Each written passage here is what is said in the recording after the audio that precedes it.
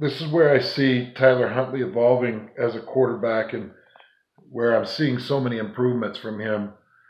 And I'll, I'll just set up your protections really quick. Ford is going to jump set. I think this is a one technique, but but Nick Ford, your right guard, is going to jump set him. is going to take a step back and he's going to scan the field because Washington State runs so many different stunts. What they're going to do is they're going to bring him across, him down, and number 10 is going to wide loop.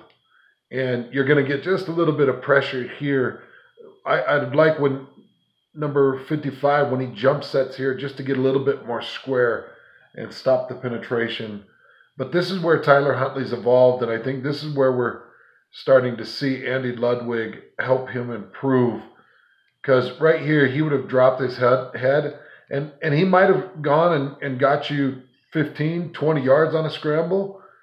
But instead, look, he brings his head up, spots his receiver down the field in pressure, and releases on the point to Solomon Enis down the sideline.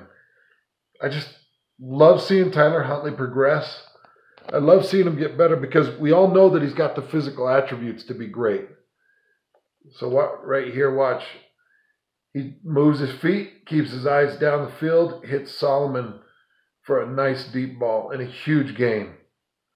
I love seeing that from Tyler Huntley. Now that gives me hope that, you know, against Cal, against Washington State, against some of the tougher defenses that you're going to see, he can make it miserable. But love seeing Tyler Huntley grow and progress and what a what a great game he had against Washington State.